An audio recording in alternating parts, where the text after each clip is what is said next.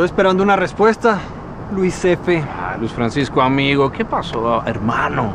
Tú eres mi socio, ¿no? ¿Qué pasó? No vas a creer eso, son cosas de. son cosas de mujeres. Así ¿Qué pasó? te quería agarrar, Luis? Francisco Fernández.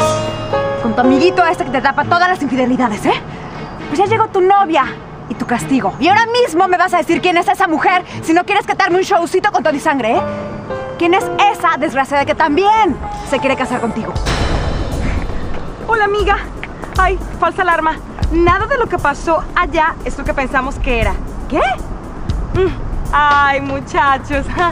Es que todo es el estrés de la boda. Bueno, claro.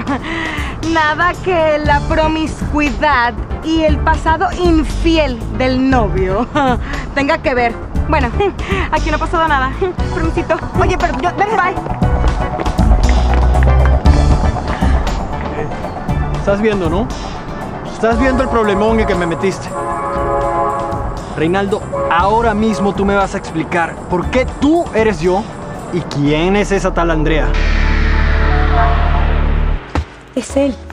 No puede ser una equivocación. Ay, es el amor que llegó a mi vida. Tengo que tomar una decisión. No me puedo casar con Carlos Luis. Es que todavía no entiendo por qué no me dejaste hablar con él.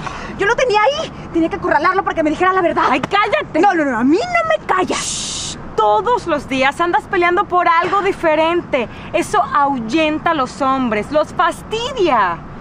Además, ¿tú tienes pruebas en tus manos? Ay, es que no sé qué hacer si él me va a dejar.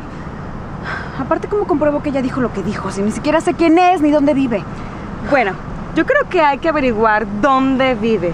Porque aquí está su nombre. Andrea Reverón. La desgraciada que me quiere quitar a mí, Luisfa, es Andrea Reverón.